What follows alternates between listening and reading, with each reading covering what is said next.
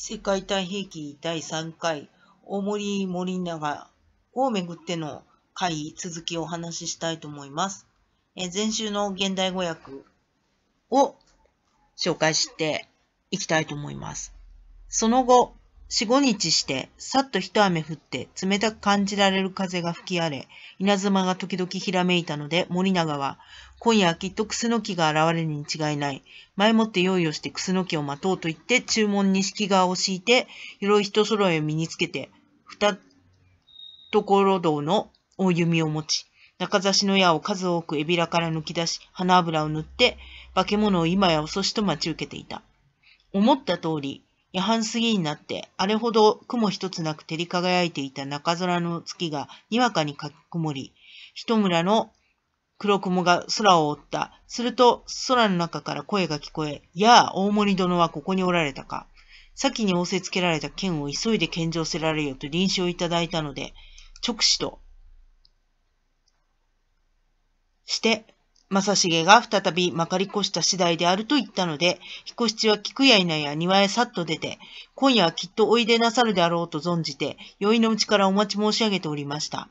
はじめは取るに足らぬ天狗か化け物などかばとめ、化けているのであろうと思ったので、詳しい問答もいたしませんでした。今確かに臨時をお持ちだと受けたまりましたので、それでは間違いなく楠木殿でいらしたのだなぁと信用したところです。話は長引くようでございますが、不審のことどもをお尋ねいたします。まずご一緒の人が大勢いらっしゃるように見えますが、どなたなのでございましょうと尋ねると、その時正成は、庭先の蹴鞠状の柳の小勢に近々と降りてきて、正成がご一緒する方々はまず、後醍醐天皇、ついで、兵部教神の応答宮、続いて新田左中将、吉貞、平和之助忠政、九郎大夫方眼義経、能登守則常、それに正成を加えて7人である。その他後に続いている者たちは名を数え上げるいとまもないと語った。森永が重ねて、ところで先帝はどこにおいでなのでございましょう。また、お供申し上げる方々はどのような姿でいらっしゃるのですか？と尋ねると、正成は答えて、先帝はもともと、負けイシュラ王の化身であられたから、今は天井に帰って、四日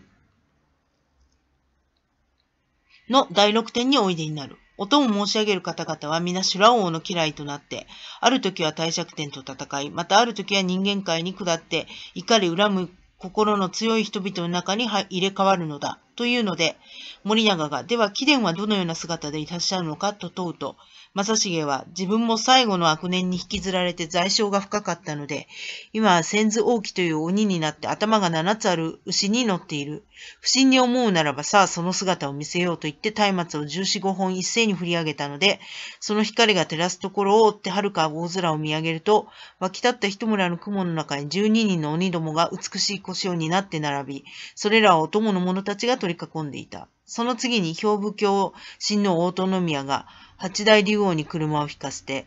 腰に付き従いなさると、次に新田左中将義貞が甲冑に身を固めて、兵数百機を従えて、前陣に進んだ。その後には九郎宝願義経と能登守則常が三百余機の兵戦を指揮して雲の波に浮かべなさると、平間之助忠政も平家の赤旗を一本高く掲げて工事に控えていた。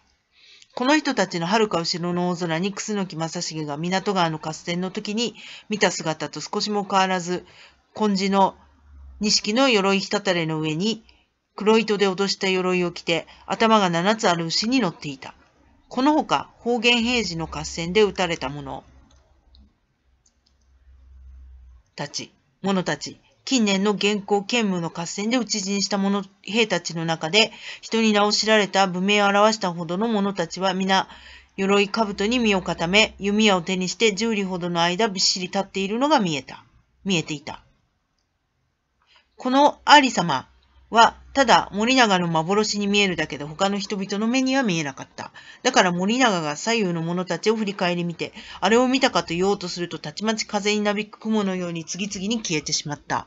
後にはクスノキの話し続ける声だけが残っていた。森永はこれほどの不思議な光景を見たにもかかわらず、心はなお動揺せず、眼に曇りがあると心が乱れて正しく物が見えないと言われている。どんな変化怪物であろうがどうして驚くことがあろうか。たとえ第六天の魔王がやってきていようとも、この刀は差し上げるわけにはいかぬ。従って例の手のひらを裏返すような臨死はいただいても仕方がない。面々を早くお帰りくだされ。この刀は将軍に差し上げることにいたしますぞ、と言い捨てて、森永は家へ入ってしまった。正成大いにあざけり笑って、この伊予の国が、たとえ陸続きで都につながっていようとも道中をたやすく通す、たやすくは通すまい。ましてや実際に海上を渡るのであるから、都へやる。